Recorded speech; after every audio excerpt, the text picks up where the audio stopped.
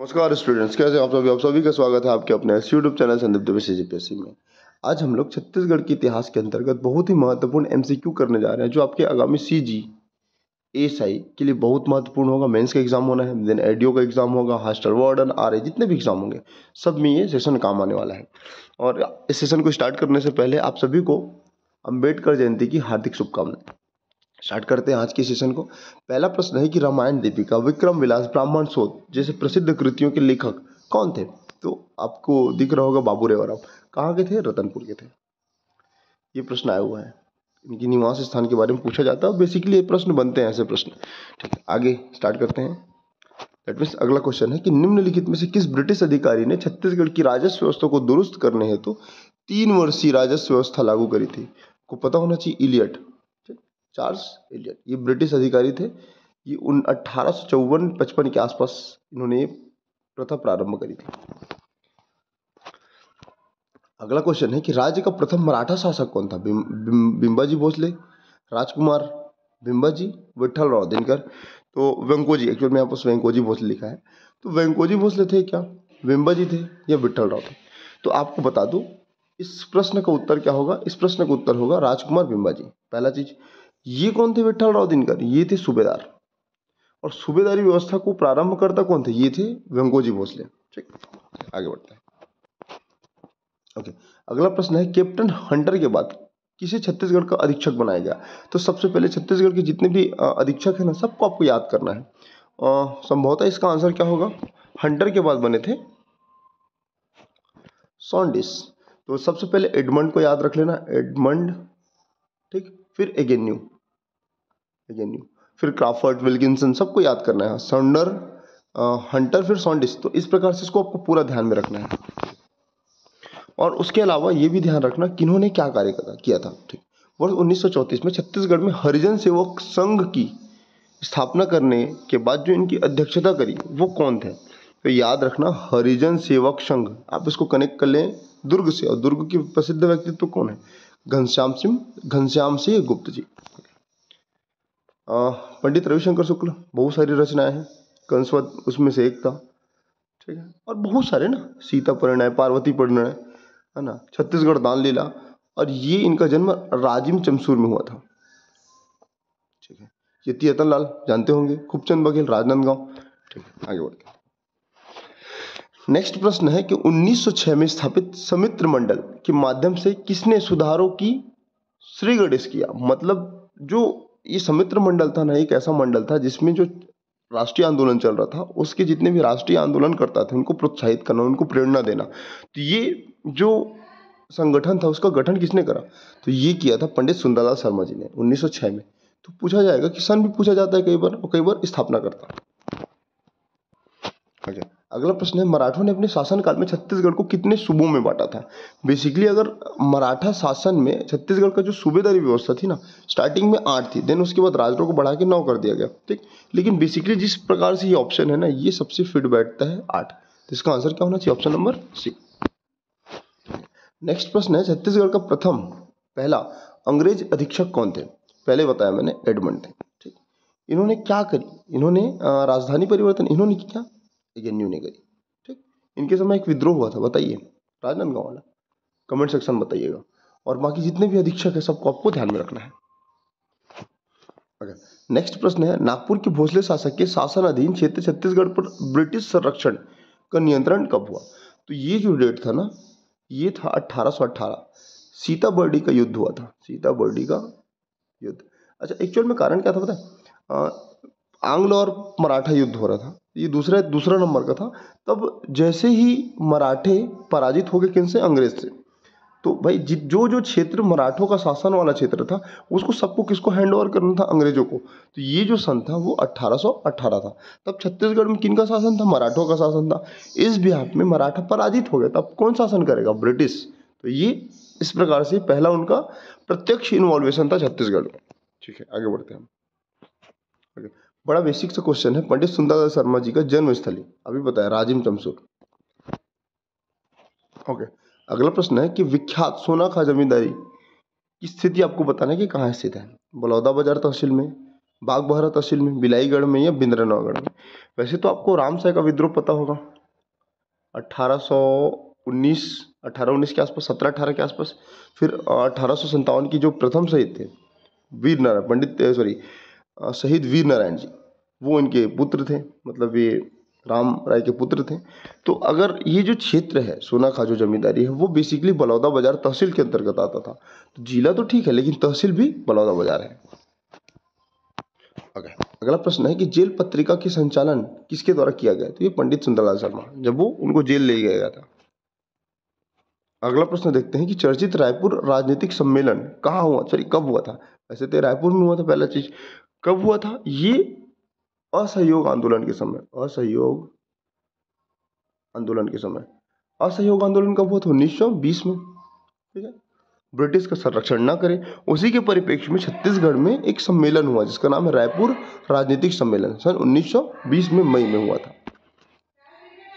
ठीक, अगला प्रश्न। वर्ष 1924 में पंडित रविशंकर शुक्ल ने कौन सा पत्रिका निकाला? तो ये जो पत्रिका है ना, वो कहानी कुब्ज है। ऑप्शन नंबर सी अगर नेक्स्ट प्रश्न के बारे में बात करूँ, कब से भोसला राजकुमार बिम्बा जी ने छत्तीसगढ़ में प्रथम मराठा शासक के रूप में प्रत्यक्ष शासन स्थापित किया था छत्तीसगढ़ में? तो ये जो सन था ना, सत्रह सौ संतावन सत्रह सौ संतावन के आसपास का समय था। इसमें बिम्बा जी, ठीक? छत्तीसगढ़ में आए, छत्तीसगढ़ में शासन किया। उनकी तीन पत्नियाँ थी, रमा, उमा, आनंदी बाई ठीक है? और ये सारी चीज़ें हैं। पूरा इनका शासनकाल चला सत्रह सौ सत्यासी तक। फिर उनकी देहांत हो गई, मृत्यु हो गई। फिर कहीं ना कहीं मराठा छत्तीसगढ़ में बिखरता नज़र आ रहा था। चीमर जी इस समय इनके अगले वंशज होने वाले थे, लेकिन इनकी पत्नी आनंदी बाई के साथ इनका संघर्ष हुआ। तो ये सारी चीज़ें आपको थोड़ा थोड़ा ध्यान में रखना है। तब इसके जस्ट बात कौन आएँगे? वेंकोजी भोसले, जिन्होंने सुबह व्यवस्था का प्रारंभ किया, वेंकोजी भोसले ने? उसी समय महिपत राव प्रथम सूबेदार थे। तो कहीं ना कहीं महिपत राव के समय आनंदी बहन का आनंदी बाई का संघर्ष हुआ था। तो आपको सारा सिनेरियो को एक फैक्ट में ध्यान रखना है सिनॉप्सिस के फॉर्म में ध्यान रखना है। ठीक है? अगर आ, अच्छा क्वेश्चन है। क्वेश्चन बनता है 1855 में छत्तीसगढ़ में जो नियुक्त डिप्टी कमिश्नर थे कौन थे? बेसिकली एज यूजल कि इसका आंसर होगा चार्ल्स एलियट अगला प्रश्न देखते हैं। कभी माखनलाल चतुर्वेदी को ब्रिटिश शासन ने किस वर्ष गिरफ़्तार हुआ था? मतलब किया गया था उनके द्वारा। देखो 1921 में एक सनिचरी बाज़ार, ठीक है? आज आपको वर्तमान बिलासपुर में मिलेगा सनिचरी बाज़ार। तो यहाँ पर एक ओजस्वी भाषण देते हैं, भाषण देते देते लाइट को बंद कर देते हैं अंग्रेज़। तो बोलते जिस प्रकार ये लाइट का कनेक्शन बंद किया गया था ना, मेरे इस भाषण के दौरान, उसी प्रकार अंग्रेज़ इस देश से ऐसे ही चले जाएँगे, उनका भी कनेक्शन कट जाएगा। तो इस कारण इनको गिरफ़्तार कर लिया गया। तो यहीं पर उन्होंने जब जेल में, जेल पहुँचे तो पुष्प के अभिलाषा, है ना? और बहुत सारी इन्होंने रचनाएँ करी। तो वो जो समय था जब इनको गिरफ़्तार किया गया, वो है उन्नीस सौ इक्कीस। इनकी जितनी भी प्रसिद्ध रचनाएँ हैं, उनको एक बार देख लेना भाई। ठीक है, अगला प्रश्न है गोपाल कृष्ण गोखले का रायपुर में आगमन कब हुआ था? अब ये सबसे विवादित प्रश्न है, ठीक। जब गांधी जी 1915 में भारत वापस हुए हाँ दक्षिण अफ्रीका से।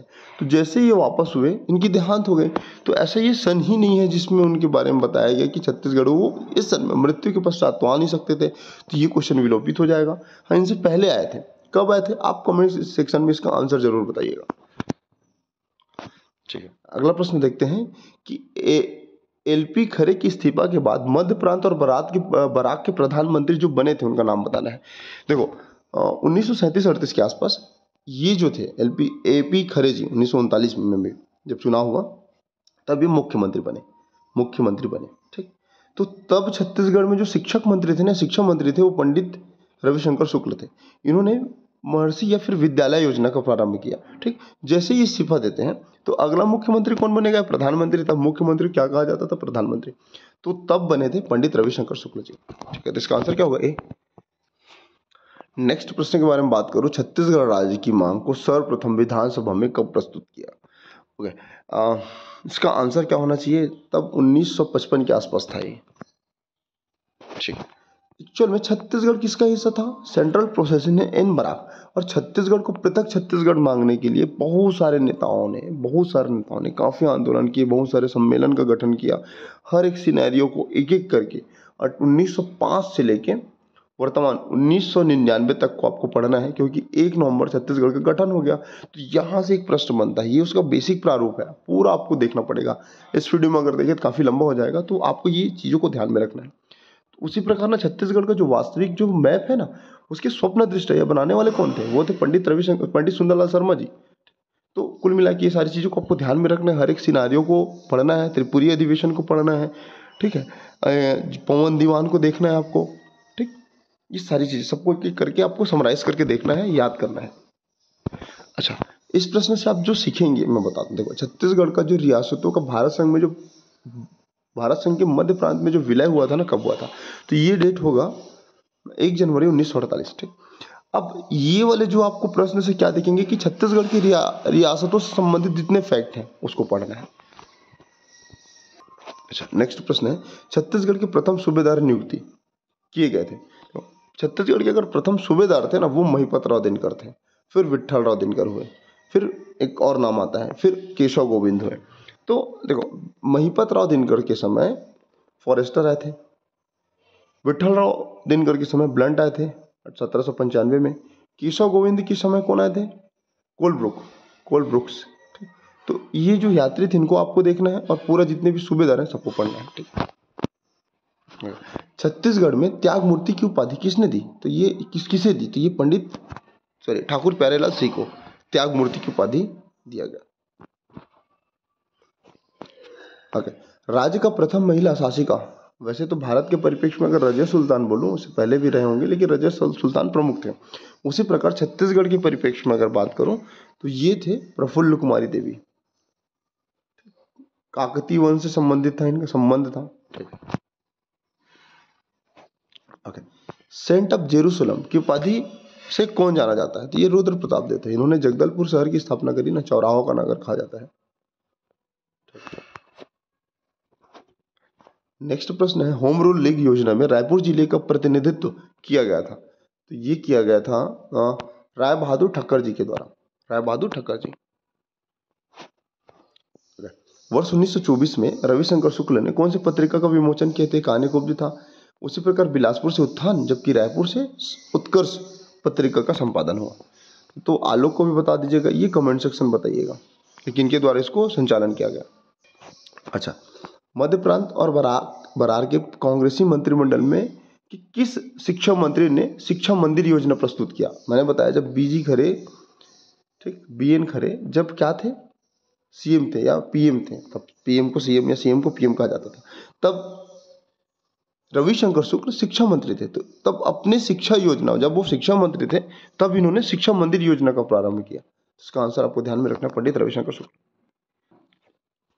ओके मध्य प्रांत इन बराक के गवर्नर के पद पर नियुक्त होने वाले छत्तीसगढ़ के प्रथम व्यक्ति कौन थे? तो ये थे Pandit sorry E Raghavendra Rao. Option A ठीक नेक्स्ट प्रश्न देखते हैं। किसने गांधी मीमांसा नामक ग्रंथ की रचना करी? गांधी जी दो बार छत्तीसगढ़ आए थे। एक बार नवंबर 1920 में आए थे मतलब दिसंबर 1920 में आए थे 20 दिसंबर के आसपास। एक बार आए थे नवंबर नवंबर 1933 में तो इसी समय पंडित रवि, सॉरी, राम दयाल तिवारी जी द्वारा गांधी मीमांसा की रचना करी। किस अधिवेशन के बाद कांग्रेस नरम दल और गरम दल में विभाजित हो गई तो ये था सूरत अधिवेशन, सन 1907 में। नेक्स्ट प्रश्न देखते हैं कि वर्ष उन्नीस सौ सैंतालीस में कांकेर स्टेट कांग्रेस का गठन हुआ, जिसके अध्यक्ष कौन थे? तो ये थे राम प्रसाद पोटई जी। ठीक राम प्रसाद पोटई जी, छत्तीसगढ़ सीमांत गांधी सोच सकते हैं छत्तीसगढ़ के परिप्रेक्ष्य में इनको। कहाँ के थे? लगभग बस्तर वाला क्षेत्र था ना? हाँ कांकेर का क्षेत्र था। नेक्स्ट प्रश्न है, रायपुर में सविनय अवज्ञा आंदोलन को योजनाबद्ध तरीके से स्थापित करने का श्रेय कितने व्यक्तियों को जाता है? तो पाँचों पांडवों के रूप में आप ध्यान में रखना तो इसका आंसर होगा पाँच। अगला प्रश्न है, कब अरिमर्दन गिरी के नेतृत्व में गोंड आदिवासियों ने जंगल सत्याग्रह करा? ये था दिसंबर 1932 था क्या? नहीं, सितंबर 1930 ऑप्शन नंबर ए। भारत छोड़ो आंदोलन के दौरान शासकीय संपत्ति को जलाने वाले प्रमुख जो नेता थे ना, कौन थे? ये थे रघुनंदन सिंगरौल जी कहाँ के थे? दुर्ग के थे। भारत छोड़ो आंदोलन के दौरान रायपुर में जो डायनामाइट कांड हुआ था, छत्तीसगढ़ के परिप्रेक्ष्य में अगर बात करूँ तो इसके जो नायक थे ना, वो कौन थे? नायक थे विलक Narayan Agarwal ji. Option number okay इसी के बिहाफ में दूसरा क्वेश्चन है कि रायपुर षड्यंत्र केस के जो पुलिस मुखबिर थे, वो कौन थे? एक्चुअल में रायपुर जो षड्यंत्र केस था, वो उसके जो नायक रहे वो परसराम सोनी रहे जबकि मुखबिर करता शिवनंदन जी रहता है। ऑप्शन नंबर डी को ध्यान में रखना इसमें। अगला प्रश्न है कि प्रसिद्ध महासमुंद जंगल सत्याग्रह के जो नेता थे ना, वो कौन थे? शंकर राव गनौत वाले ठीक है? ओके बाईस जनवरी उन्नीस सौ अठारह में सार्वजनिक तौर पर कितने विद्रोहियों को रायपुर में फांसी दे दी गई? बात कुछ ऐसा था कि हनुमान सिंह, जो लश्कर थर्ड बटालियन के कमांडर थे मतलब वहाँ के सेनापति थे, जो भी थे, जो भी पद में थे तो ये जो है सिडवेल की हत्या कर देते हैं। जैसे सिडवेल की हत्या करते हैं तो खुद करते हैं अपने सत्रह साथियों के साथ। ठीक। सत्रह साथियों के साथ करते हैं। और उनको गिरफ़्तार कर लिया जाता है। और गिरफ़्तार करने के बाद लगभग बीस इक्कीस तारीख की बात है, जनवरी की बात है। जैसे इनको गिरफ़्तार किया जाता है, ये तो फरार हो जाते हैं। इसी कारण इनको छत्तीसगढ़ का मंगल पांडे कहा जाता है, ठीक। लेकिन इनके जो सत्रह साथी थे फंस जाते हैं। तो इनको बाईस जनवरी उन्नीस सौ अठारह सौ अंठावन में रायपुर में सबके सामने क्या कर दिया जाता है, सॉरी सबके सामने क्या कर दिया जाता है? फांसी दे दिया जाता है कितने लोग थे? सत्रह लोग थे। ध्यान में ओके। छत्तीसगढ़ के इतिहास को अगर आधुनिक इतिहास को आप अच्छे से पढ़ेंगे ना तो ये क्वेश्चन का आंसर आप दे पाएँगे।